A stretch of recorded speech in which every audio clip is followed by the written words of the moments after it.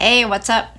I want to say something today. I, it's beginning of September, and a lot of exciting things going on. Will be going on, and I can't. Just so excited about wrapping all up Q4 2020, and who else is so excited about 2021, right? I I want to say a couple things uh, that I've been around in this country since our 37th president I want to say something about that, and I have something to say about today's political climate. However, not but not getting into deep into politics. I suck in politics. Our, our country has endured so many challenges um, through leaderships, different leaderships of 45, total of 45 so far, great men. The world has seen two world wars, right? Now is the year 2020. The world with its 7.8 billions humans around this planet has um, surely impacted with this infamous virus named COVID. It stands for coronavirus, right? And um, it had massively, and still going on, massively impacted, impacting in multi dimensions uh, aspects in our world, right? We're talking about health crisis here right? So health, economy, job security, food security, and yes, sustainability. Um, how COVID has changed of our world tomorrow for forever, right? We've seen it already. Reorienting our relationships with each other, right? Socially, culturally, environmentally. I mean, doing business overall in general also is changing it has to. I mean, you know, I've got a couple of things to say about that too. My point is this that going back home front,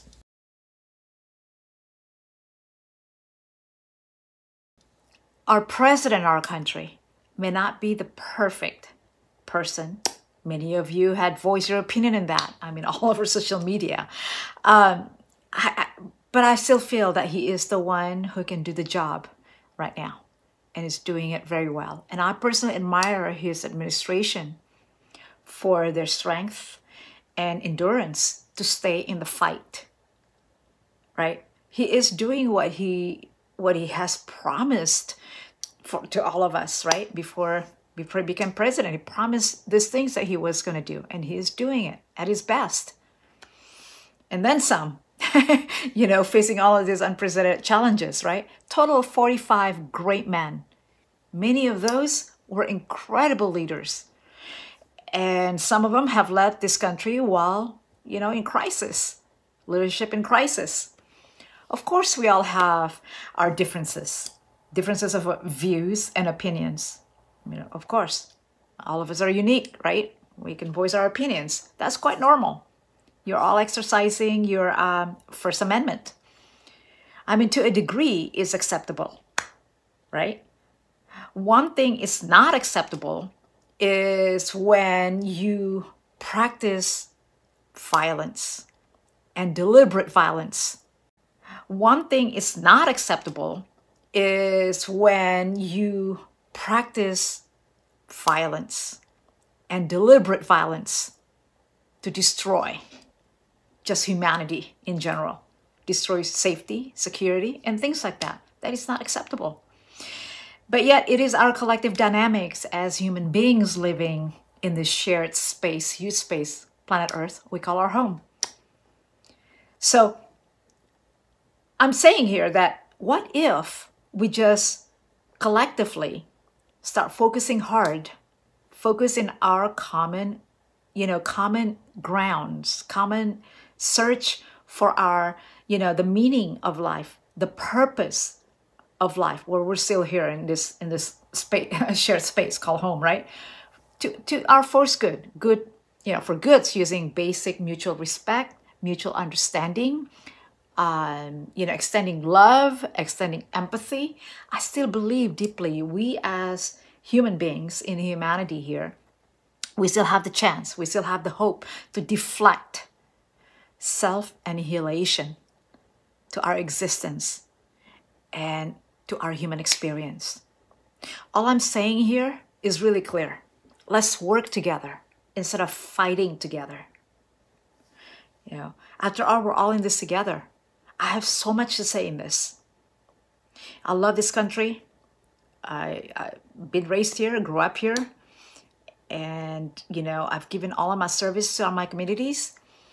I, uh, you know, got my education here in this country, and you know, I don't ask much. Let's let's work together.